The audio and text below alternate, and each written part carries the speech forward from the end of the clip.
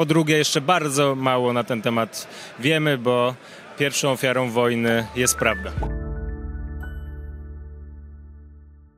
Panie pośle, szybkie podsumowanie konwencji. Cóż, no, powiedzieliśmy prawdę i strzykowaliśmy na znów całą Polskę. A w jaki wynik realnie celujecie w wyborach?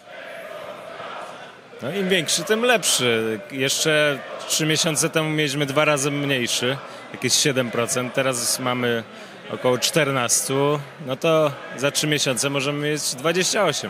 Konfederacja w rządzie w październiku to jest realny scenariusz? W rządzie? Praktycznie niemożliwy. Eee, aż tak dobrego wyniku nie wierzę, żebyśmy mogli rządzić samodzielnie, a w koalicję z, ani z PiSem, ani z PO nie zamierzamy e, wchodzić.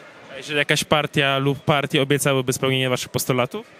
Jak chcą spełniać nasze postulaty, no to niech spełniają. My na swoje postulaty oczywiście będziemy zawsze głosować, niezależnie od tego, e, czy jesteśmy w opozycji, czy nie. Więc jeżeli jakaś partia, jakaś koalicja będzie chciała zrealizować wreszcie słuszny program dla Polski, czyli nasz program, no to niech realizujemy. Oczywiście będziemy głosować za naszym programem.